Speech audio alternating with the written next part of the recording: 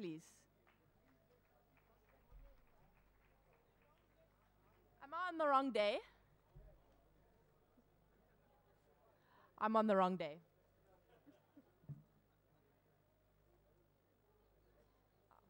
There we go. Let me try again. If you were here on Sunday, you'd be listening to the right people. right, let me try again. Neil Rennie. There we go. Oleg Borushko. I should have known that if I didn't call Oleg, I, wasn't, I was on the wrong day. Vinod Kumar Shukla, Sukrita Paul Kumar, Ambika Dutt, and CP Devil. Please welcome them to stage. Give them a big hand.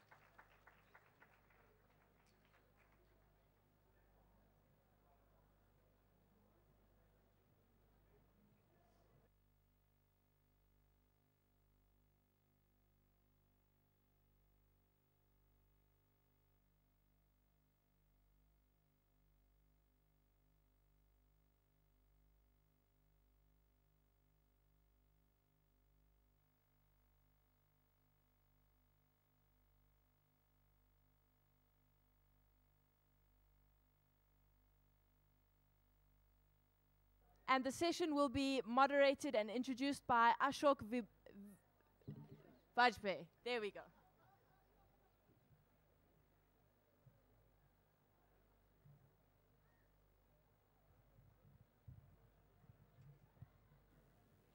Does it, does it work?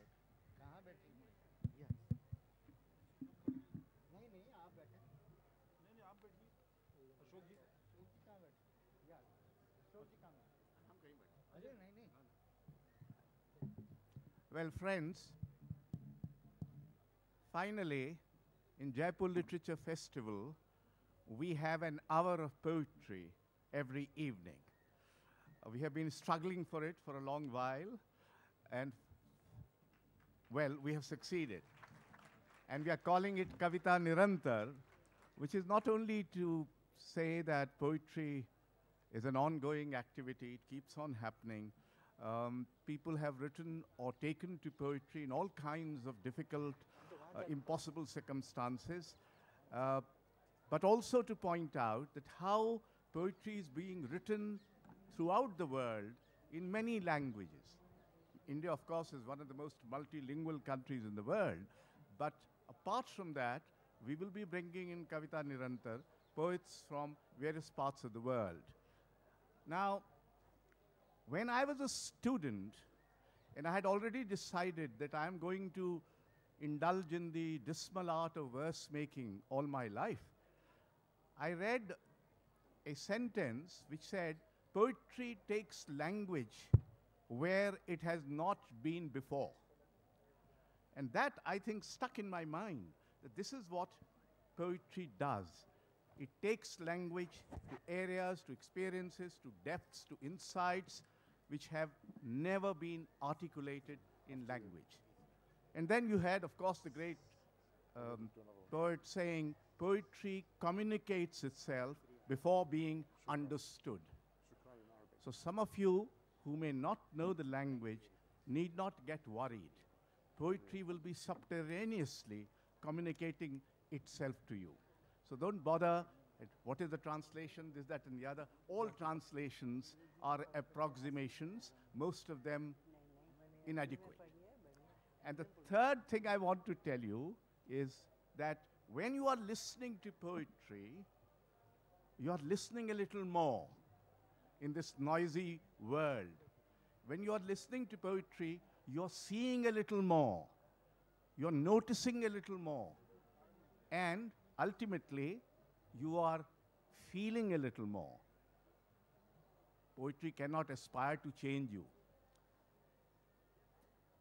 I don't know which forces can aspire to change you, but poetry can attempt to make you see that change is possible, that this world is not without alternatives, and that we can always discover alternatives both in wisdom, in insights, even in stupidity.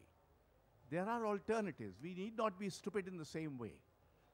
So, ladies and gentlemen, we have these poets here. Since there are six of them, And we have, there will be no question answer.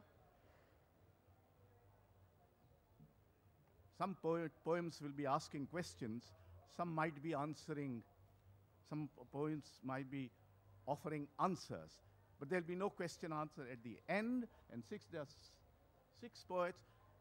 We should say about eight minutes each. And can I have that?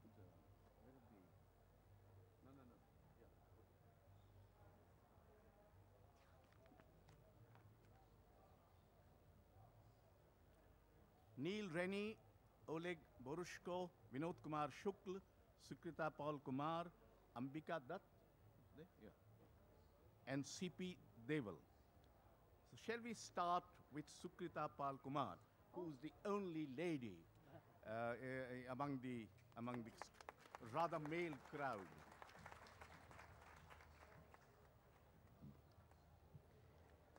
Um, without much ado, I want to start with the poems themselves because I think that's the best way of introducing oneself.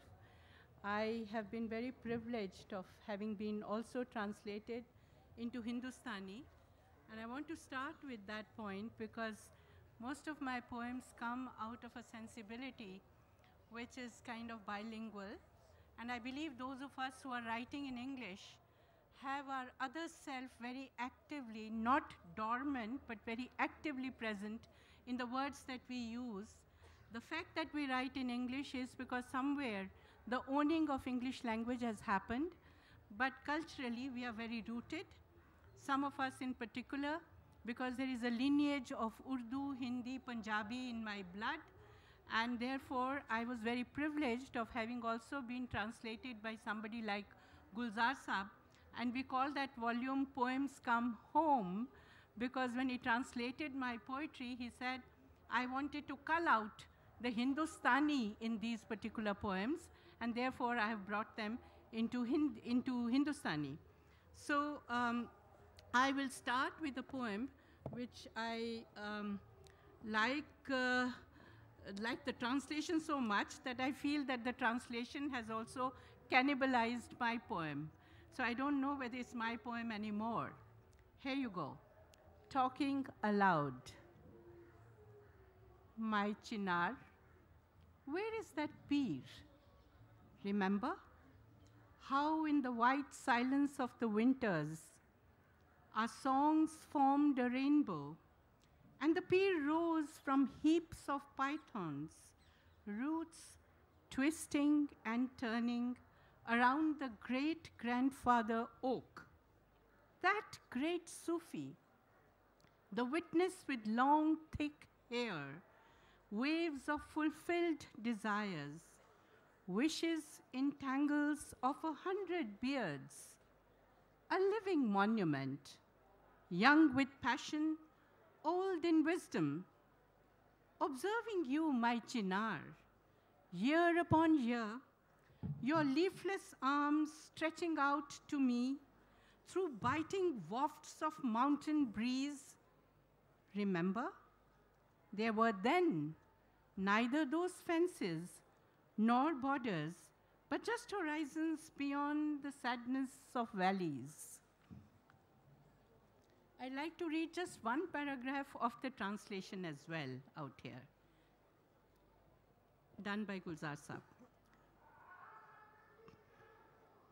Chinnar मेरे कहाँ गया पीर याद है ना सफ़ेद खामोशी सर्दियों की हमारे नगमों से बनती थी एक सात रंगी और पीर उठते थे ढेर से इन अजगरों से, बलों पे बल खाती उन जड़ों से।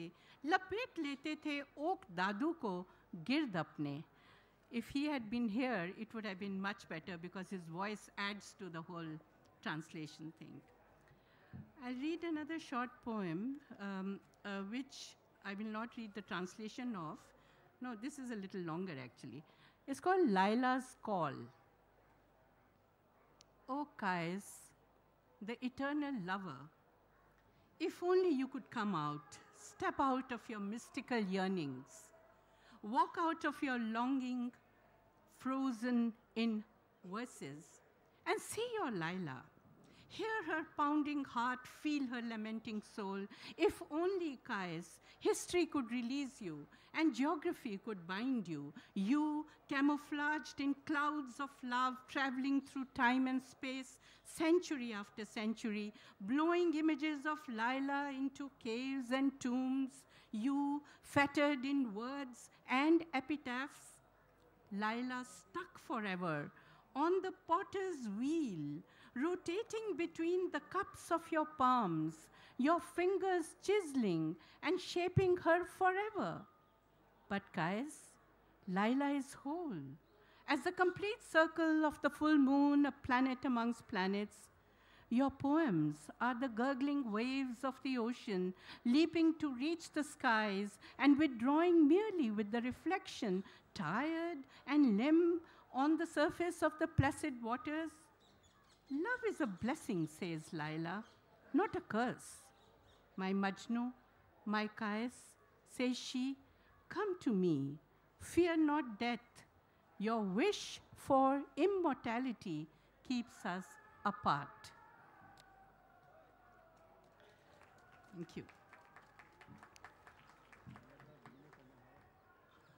Okay.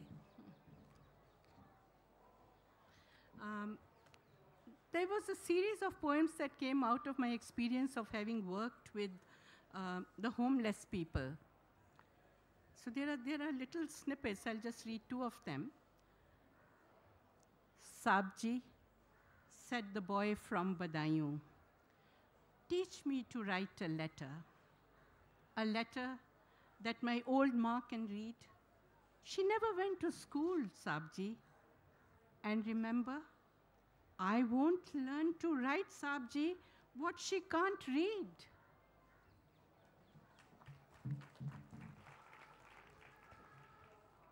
Dreams are to be dreamt in sleep, to die when the eyes open. Deny them, dismiss them, for the green pastures are nowhere. Dreams sink like paper boats when belief sits in them.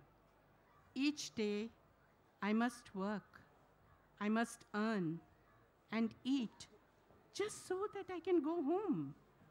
But that too is a dream, I confess. Last one. It's the last one I've been told. Dream catcher. I must reach the forest in time before the break of dawn each day to pick some dreams scattered in misty darkness. I must reach from the sun crackles before the sun crackles, through the leaves of the trees on which dreams pile up, perching on the branches through the night, dreams half dreamt, fully dreamt, and those yet to be dreamt, like babies, born and unborn, crying out for attention, making weird faces in sleep like babies. I pick what gets my fancy bits from my wrinkled past, the shadowy fragments of future mixing in twilight, droplets of dew ready to vanish with sunrise. Each day, I come home with a bag full of dreams, a sack of dreams that drip through the day for me and all. Each night, I wait for the new dawn. Thank you.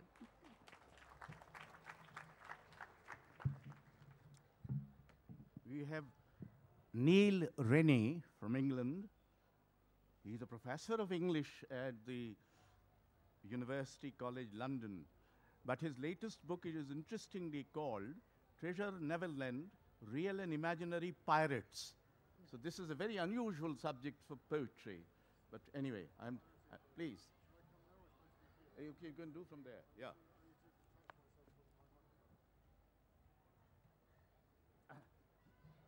No, you would like to come here?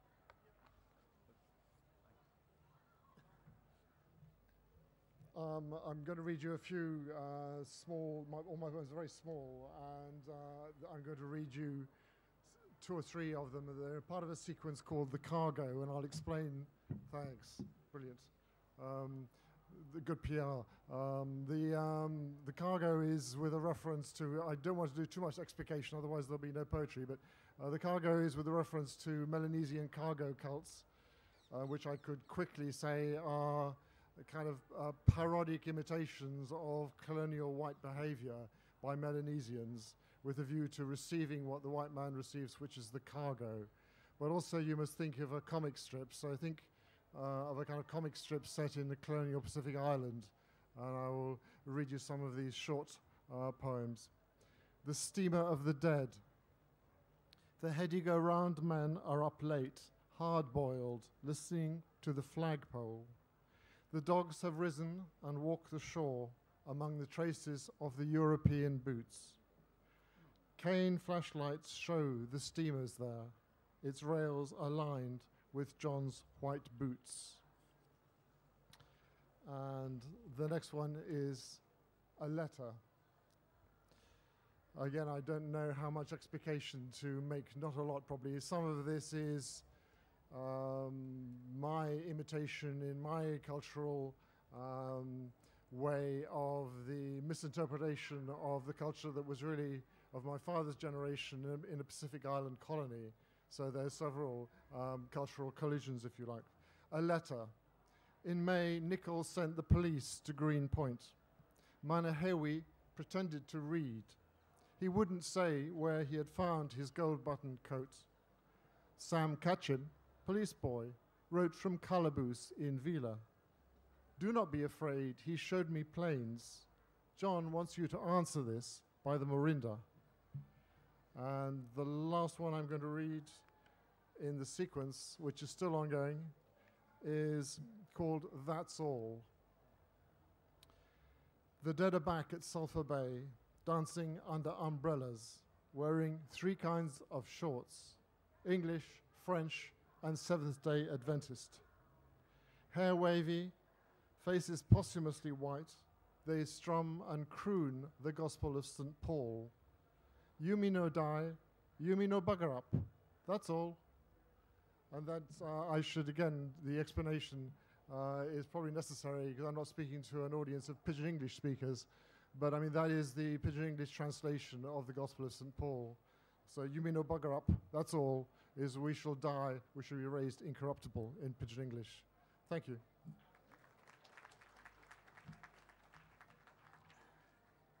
Uh, the next poet is Ambika Dutt Chaturvedi, who has been awarded Mira Puraskar by the Rajasthan Sahit Academy and is an administrator of some sort. Some sort, because I have been administrator of some sort.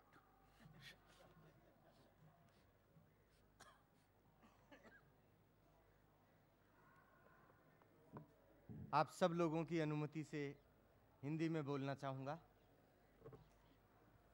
बोलिए नहीं पढ़िए।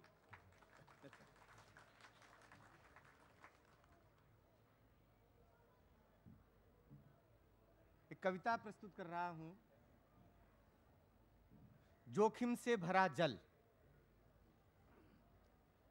एक महाभारत का प्रसंग है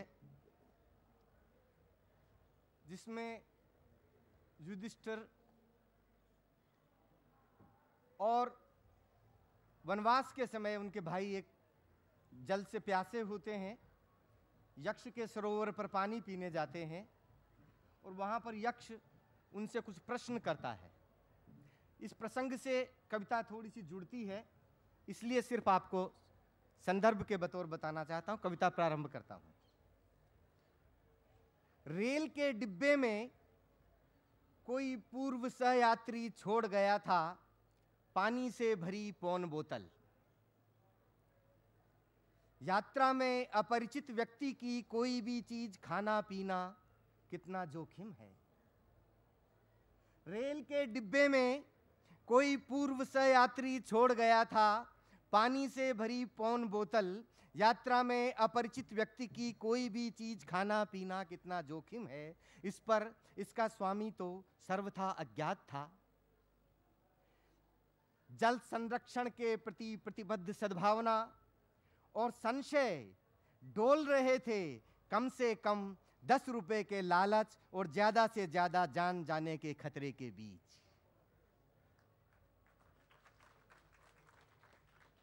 जल संरक्षण के प्रति प्रतिबद्ध सद्भावना और संशय डोल रहे थे कम से कम दस रुपए के लालच और ज़्यादा से ज़्यादा जान जाने के खतरे के बीच जकायक स्मरण हो आते हैं मुझे। महाभारत के वन पर्व में यक्ष सरोवर के किनारे खड़े युधिष्ठिर। जकायक स्मरण हो आते हैं मुझे। महाभारत के वन पर्व में यक्ष सरोवर के किनारे खड़े युधिष्ठिर, जिनके समक्ष चारों भाई मृत पड़े थे। शुष्क प्यास की रेत में, प्यास और प्रश्न के बीच में पानी था, उनके भी और मेरे भी। सोचता हूँ, पांडवों की प्यास बड़ी थी या मेरी है? प्रश्न ज़्यादा कठिन वो थे, जो युधिष्ठर के सामने खड़े थे या मेरे सामने खड़े हैं। संशय उस समय ज़्यादा था या अब ज़्यादा है? भय तब ज़्यादा था या अब ज़्यादा है? जल जोखिम से भरा, तब ज़्यादा था या अब ज़्यादा है?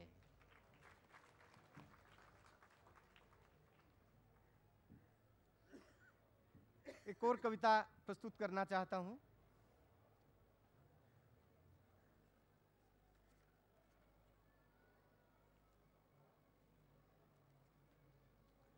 औरतों का दर्जी।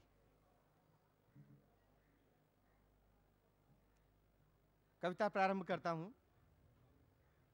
झूठ नहीं कहता मैडम, सब औरतें आपकी तरह भली नहीं होती झूठ नहीं कहता मैडम, सब औरतें आपकी तरह भली नहीं होती। दोजक से भी दुत्कार मिले मुझको अगर झूठ बोलूँ। अल्लाह किसी दुश्मन के नसीब में भी न लिखे औरतों का दर्जी होना।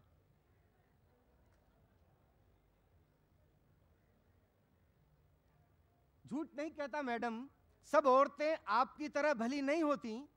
दोजक से भी दुत्कार मिले मुझको अगर झूठ बोलूँ। अल्लाह किसी दुश्मन के नसीब में भी न लिखे औरतों का दर्जी होना।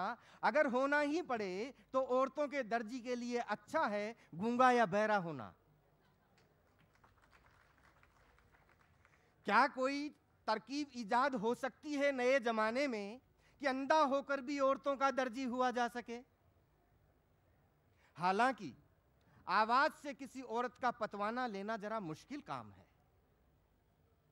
किसी भी वक्त बदल जाती हैं वो। नाप लेने के सारे साधन अक्सर ओछे और पुराने पड़ जाते हैं। लगता है एक तिलस्म है, मिस्र के पिरामिड, दजला फरात या सिंधु घाटियों में जाने जैसा लगता है उन्हें नापना। जरा सा चूक जाएँ तो लौटना मुश्किल है, नस्लों के सुराग तक न मिलें। उनकी आवाज़ में चहकते सुने हैं पंछी बेने। सपनों में तैरते सितारे, लावणों में लहराते बादल तरह तरह की कालरों और चुन्नटों में चमकते इंद्रधनुष, वरेप, मुगजी, बटन, काच, हुक, बंद फीतों में तड़पती देखता हूँ हज़ारों हज़ार मछलियाँ। तड़पती, देखता हूँ हज़ारों हज़ार मछलियाँ और इनकी हिदायतें। ओह, इतनी हिदायतें इतनी हिदायतें कि क्या कहूँ, कई बार तो लगता है वे कपड़े सिलवाने आई हैं या पंख लगवाने। इनकी हिदायतें, ओह, इतनी हिदायतें कि क्या कहूँ, कई बार तो लगता है वे कपड़े सिलवाने आई हैं या पंख लगवाने। मेरे हाथ से गज और गिरह गिरने को होते हैं बार बार अर्जुन के हाथ से गिरता था धनुष जैसे महाभारत से पहले। अपनी बातों से, अपनी बातों ही बातों से कतरनों के ढेर लगा देती हैं। मेरी कैंची तो कभी की भौंतरी हो चुकी उनके सामने। कपड़े वक्त पर सिलकर देने का वादा और वक्त पर न सिल पाना अक्सर दोनों ही मेरी मजबूरियाँ हैं, जिन्हें मैं ही जानता हूँ और कोई नहीं जानता मेरे ग्राहकों और खुदा के सिवा। आसमान की ऊंचाइयाँ कम हैं उनके लिए, समुंदर की गहराइयाँ भी कम हैं उनके सामने। कैसे कैसे ख्याल सजोए होती है, कैसे कैसे दर्द छिपाए होती है। मुझे रह रह कर याद आता है मेरी पुरानी ग्राहक की नई सहेली की ननद का किस्सा। मुझे रह रह कर याद आता है मेरी पुरानी ग्राहक की नई सहेली की ननद का किस्सा कि जिसकी कहीं बात चल रही थी, फिर टूट गई। उसने जहर खाया था अनजान जगह पर। लावारिश मिली उसकी लाश को पहचाना था पुलिस ने कपड़ों से। उसने मेरे सिले हुए कपड़े पहन रखे थे। मुझे उस दिन लगा, औरतों के कफन और शादी के जोड़े क्या एक जैसे होते हैं? औरतें फिर भी औरतें हैं। जमाने से आगे चलती हैं औरतें। औरतों से आगे चलते हैं उनके कपड़े। उससे भी आगे खड़ा होना पड़ता है औरतों के दर्जी को। अब से भी आगे खड़ा होना पड़ता है औरतों के तरफ़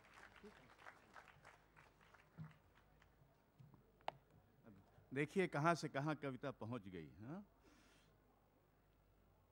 The next poet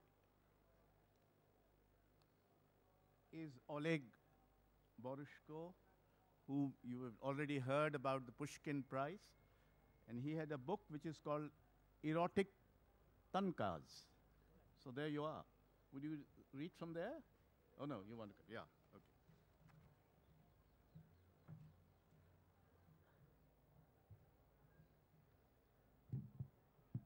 So I will uh, read uh, three short verses in Russian so that you can feel the flavor of Russian poetry in sound and give you a brief description in English.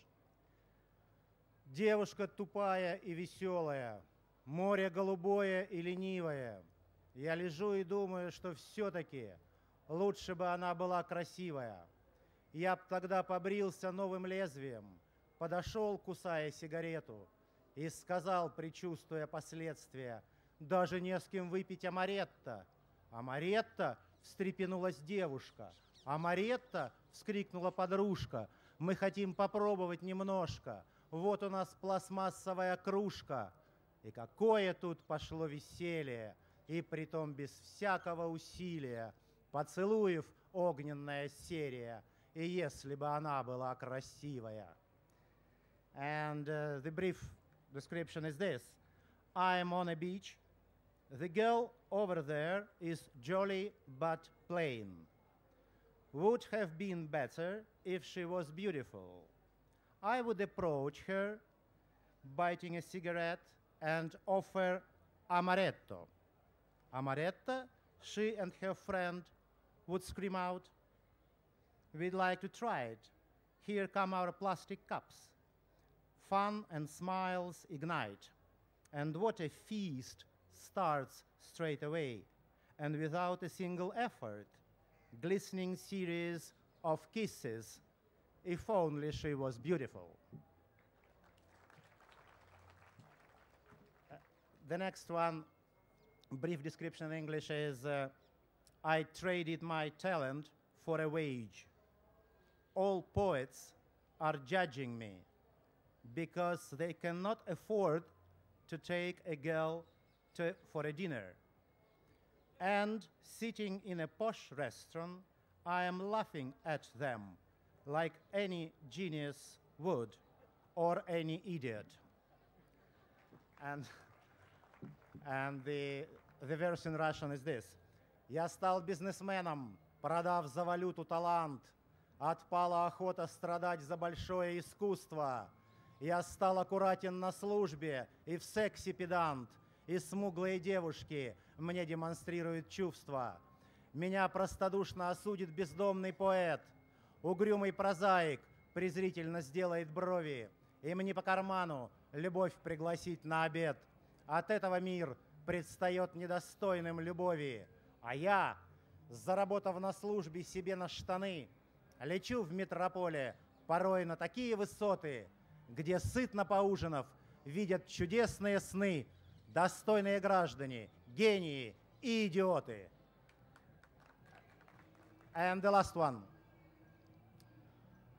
It's a music, uh, it's, a, it's a discotheque somewhere. Anyway, we'll try to overcome disco by poetry. Вечер настолько хорош, лишние краски сотру, ты никогда не умрешь. я никогда не умру.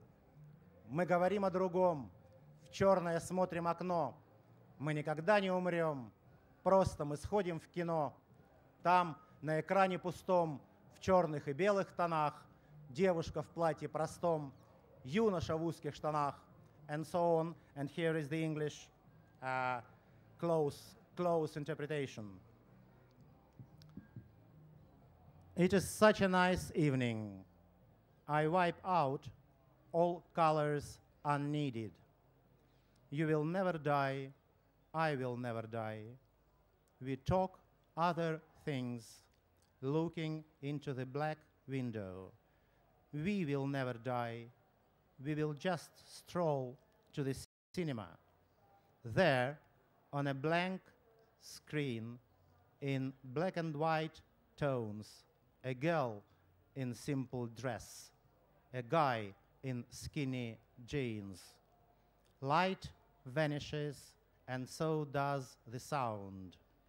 Here, without additional props, a pair of shining arms, a pair of shining eyes, in a dashing and patchy tape ending of the best of all films, an unfading pair of faces at the very last moment, a shimmering, twitching screen.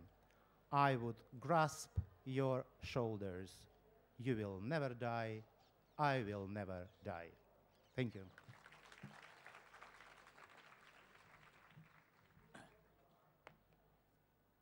Well, those who are keeping the count, there are two more poets left. Uh, the last two.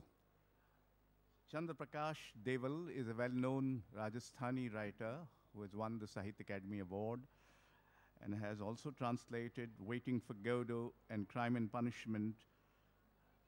Chandra Prakash Deval.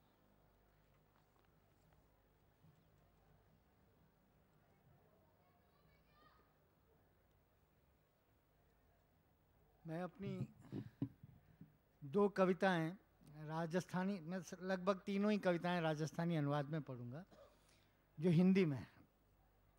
भाषा पर दो कविताएँ हैं, उसमें से पहली कविता आपकी नज़र, और जब अशोक वाजपेयी साहब जब मेरा परिचय दे रहे थे, तब उन्होंने जिन अनुवादों का ज़िक्र किया, उसमें से एक मैं आप लोगों के साथ साझा कर दूँ कि मैंने अशोक वाजपेयी साहब का भी कहीं नहीं वहीं का अनुवाद किया है।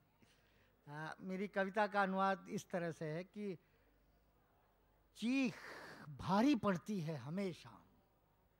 चीख भारी पड़ती है हमेशा सारी इबारतों और तमाम भाषाओं की वर्णमाला पर। चीख भारी पड़ती है सारी इबारतों और तमाम भाषाओं की वर्णमाला पर। इसमें नहीं होता मानी न लय न उच्चारण की तर्ज भरा होता है, शुद्ध और ठोस सत्य, जो अनअर्थाया भी पहुँच जाया करता है, अगले सुनने वाले तक पूरा का पूरा, जस का तस। अपनी अपनी चीख को सहेज कर रखो। सताए हुए लोगों की भाषा है एक छोटी सी कविता भाषा पर और। गहन अंधेरे में हाथ को हाथ नहीं सूझता अब इस भाषा को क्या करूँ? कि वह इस जुमले में आँख का काम करती हुई हाथ कहलाती है। अंधेरे में हाथ का हाथ नहीं सूझता। अब इस भाषा का क्या करूँ कि वह इस जुमले में आँख का काम करती हुई हाथ कहलाती है और लोगों को पता भी नहीं चलने देती। अर्थ भी इसे समझे, तब तक तो बोल बाल कर एक कौन के सहारे भाषा वापस अपने व्याकरण के खोल में जा दुबकती है, जैसे कहीं कुछ हुआ ही ना हो। कभी चुपके से सरका देती है? प्रीत अंधी होती है। और अप्रतिहत रूप से जुमले का अर्थ बिखेरती, सौंप देती है, इसी बहाने प्रीत को आँखें और मौन हो जाती है। अब मैं भाषा के इस मौन का क्या करूँ? पर करूँ क्या? भाषा के बिना काम भी तो नहीं चलता और तुझे याद करने को भी तो चाहिए भाषा। एक कविता मैंने अभी अभी चुनी है और उस खास संदर्भ है उसका। कि अशोक वाजपेयी साहब ने अपने आलोचनात्मक निबंधों में एक जगह एक जुमला कहा था, अगर उन्हें याद हो अपनी सुंदरता में लहूलुहान तो जब मैंने ये जुमला देखा तो उसको कई दिनों तक समझने की चेष्टा करता रहा कि सुंदरता में लहूलुहान कैसे हुआ जाता है। खैर, बहरहाल उसको छोड़िए, और एक कविता जिसमें मैंने इस जुमले का इस्तेमाल किया है। तो इसलिए मुझे अच्छा लगा कि एक अपने वरिष्ठ समकालीन को प्रणाम करने का यही तरीका है। एक कवि का आयुष्य। उस दिन किसी की विदाई के अवसर पर मेरी गीली आँख की कोर से टपकने को, आतुर बूंद को किसी ने नहीं देखा। उस दिन किसी की विदाई के अवसर पर मेरी गीली आँख की कोर से टपकने को, आतुर बूंद को किसी ने नहीं देखा। न जगत और न जगतारण ने धीरे से उठाकर मैंने उसे चुपचाप धर लिया स्मृति में, नहीं नहीं, सपने में या फिर कल्पना में। बाद में वही प्रकट हुआ मिला मुझे मेरी कविता में। देखते ही जिसे मैं भीतर तक सिहर उठा और वह कण कण का वासी अंतर्यामी मेरी बगल में खड़ा देखता रहा मुझे कांपते।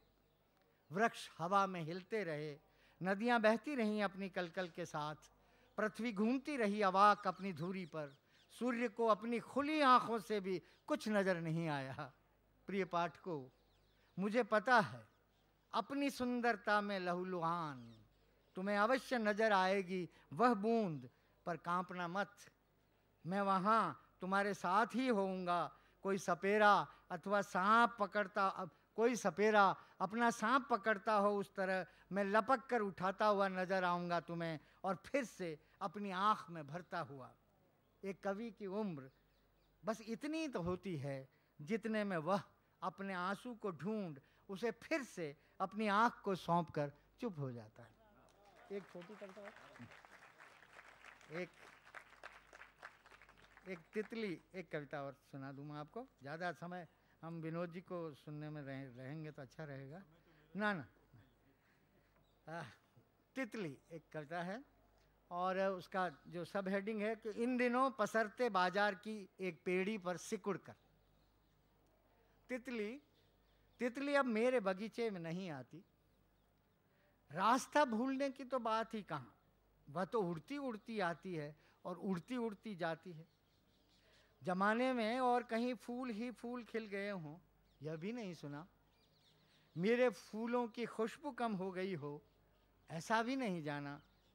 बसंत भी ऋतु चक्र में अब तक है, देर सवेर आता ही भी देर सवेर आता भी है, पर तितली मेरे बगीचे में नहीं आती।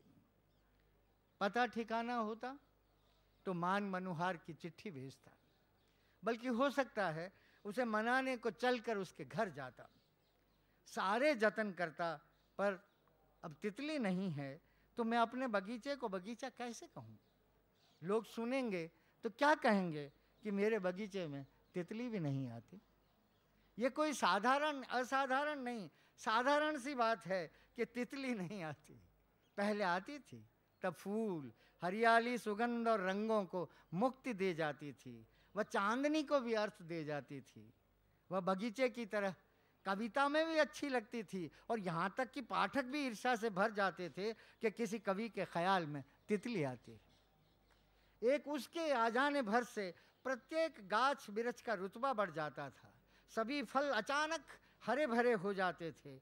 अंतस में ठंडक व्याप्त हो जाती थी। उसके आते ही पता नहीं कहाँ कहाँ से चली आती थी। ढेर सी आशाएँ, यह भी, वह भी, सभी कुछ समर जाएगा। यह खुरदरा संसार भी मुलायम हो जाएगा। उसकी आमद एक उम्मीद जगाती थी और प्रतीक्षा में पथराई आँखें भर आती थी।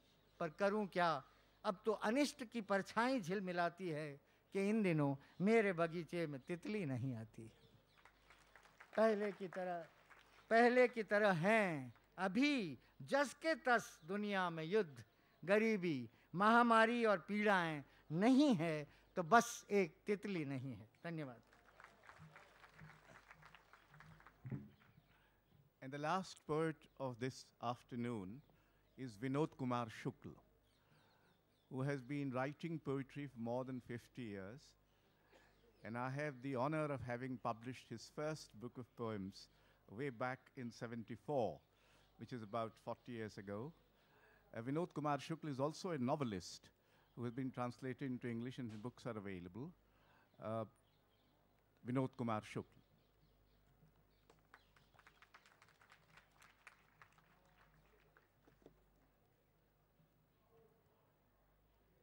मैं सीधे कविता ही पढ़ूँगा। प्रतिमाएँ पत्थर की हैं। मूर्तियों में आनंद पत्थर का। सुख पत्थर का है। इस सुख से मुस्कुराहट पत्थर की। हमारी चितवन के सामने पत्थर है, परंतु सब कुछ सजीव। की प्रतिमा के चितवन के सामने हम दोनों पथराए। हमारे पथराए में मूर्तियों का सौष्ठव, मूर्तियों की नक्काशी हम दोनों आलिंगन में पथराए।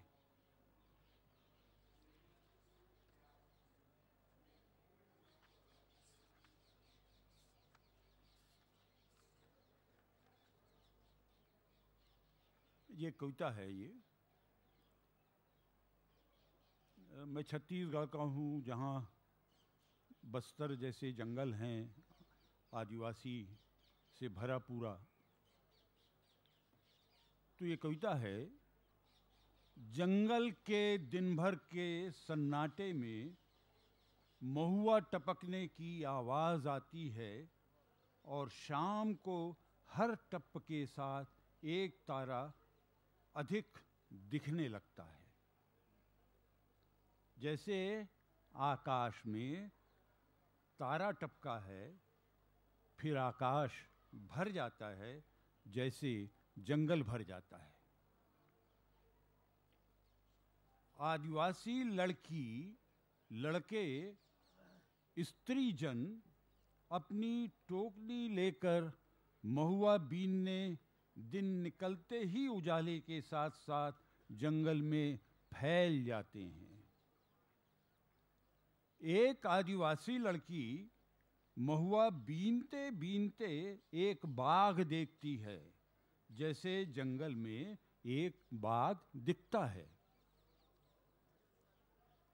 आदिवासी लड़की को बाघ उसी तरह दिखता है, जैसे जंगल में एक आदिवासी लड़की दिख जाती है, जंगल के पक्षी दिख जाते हैं, तितली दिख जाती है और बाघ पहले की तरह सूखी पत्तियों पर जम्हाई लेकर पसर जाता है। एक अकेली आदिवासी लड़की को घने जंगल जाते हुए डर नहीं लगता। बाघ शेर से डर नहीं लगता, पर महुआ लेकर गीदम के बाज़ार जाने से डर लगता है।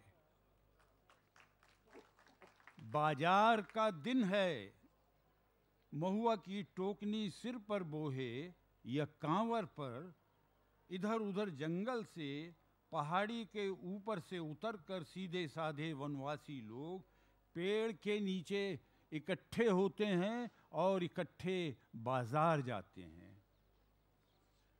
ये एक छोटी सी प्रेम कविता है। पानी को पानी की गठरी में बाँध लिया। कपड़े को कपड़े की गठरी में पानी की गठरी है तालाब, कमल गठाने हैं। पानी को पानी की गठरी में बाँध लिया, कपड़े को कपड़े की गठरी में पानी की गठरी है तालाब, कमल गठाने हैं। खिले खुले अधकुले अधखुले कमल से अपने अपने में बहता पानी, अपने तुपने में, फिर तुपने में बहता जल की बड़ी बूंद तालाब जल को पानी की गठरी में बाँध लिया। उससे यहीं मिलने का निश्चय, उससे यहीं मिलने के निश्चय को यहीं मिलने के निश्चय में बाँध लिया। ये दूसरी कविता है। प्रत्येक आवाज़ खटका है।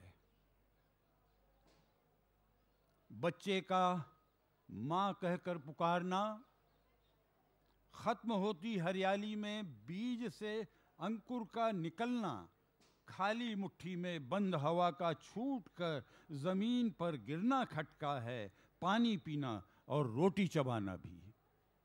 बचाओ बचाओ, चिल्ला सकने वाले लोग बचाओ भी नहीं चिल्लाते।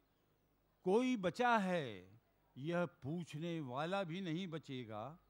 लगता है, दुनिया को नष्ट करने का धमाका अभी शायद हो। हो सकता है, ज़िंदगी को नष्ट करने के धमाके के पहले ज़िंदगी का बड़ा धमाका हो।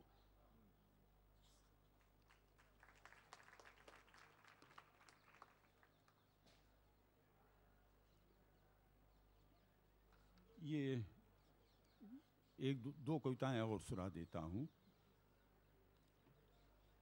दंगे के दिन जब लोग डरे हुए दरवाज़ा बंद कर घरों में दुबके हैं मैं शहर घूमना चाहता हूँ। दिखने में मैं न हिंदू दिखता हूँ न मुसलमान दिखता हूँ। किसी मुसलमान के हाथों मरूं तो मुझे हिंदू न समझना, मुसलमान समझना। अगर हिंदू के हाथों मरूं तो मुझे मुसलमान न समझना, हिंदू समझना। ये ये एक कविता है। अगर रोज कर्फ्यू के दिन हो तो कोई अपनी मौत नहीं मरेगा। कोई किसी को मार देगा या, पर मैं स्वाभाविक मौत मरने तक ज़िंदा रहना चाहता हूँ, दूसरों के मारने तक नहीं, और रोज़ की तरह अपना शहर रोज़ घूमना चाहता हूँ। शहर घूमना मेरी आदत है। ऐसी आदत कि कर्फ्यू के दिन भी किसी तरह दरवाजे खटखटा कर सबके हाल चाल पूछूँ, हो सकता है हत्यारे का दरवाज़ा भी खटखटाऊं। अगर वह हिंदू हुआ तो अपनी जान हिंदू कहकर न बचाऊं, मुसलमान कहूँ। अगर मुसलमान हुआ तो अपनी जान मुसलमान कहकर न बचाऊं, हिंदू कहूँ। हो सकता है इसके बाद भी मेरी जान बच जाए तो मैं दूसरों के मारने तक नहीं, अपने मरने तक ज़िंदा रहूँ।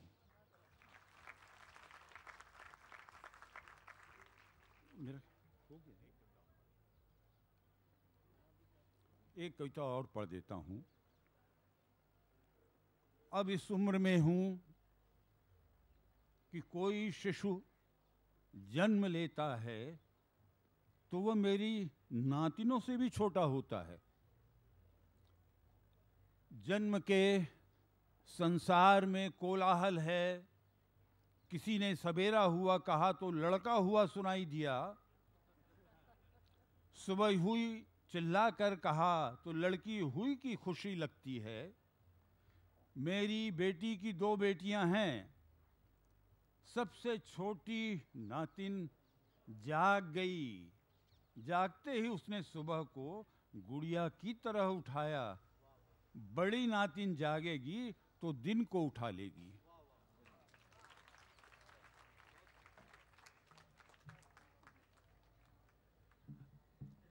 Well friends with that we come to the end of the first afternoon of Kavita Nirantar this be on for the next four days We are most cordially invited. Um, as you would have guessed, poetry takes you where you would normally not go, and poetry takes you to those areas which remain untouched, un- unassessed by you, unaccessed by you. So, for a brief while, these wonderful poets took you where you wouldn't have gone. So, come tomorrow and have another session another round of poetry. Thank you.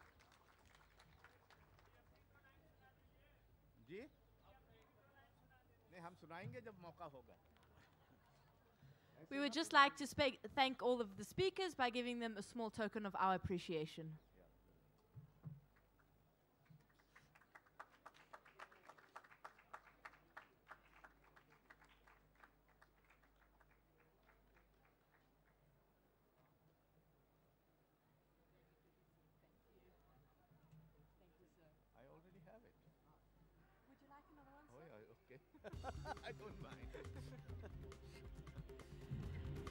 Much, everyone. And that was Poetry Hour, Kavita Nirantar.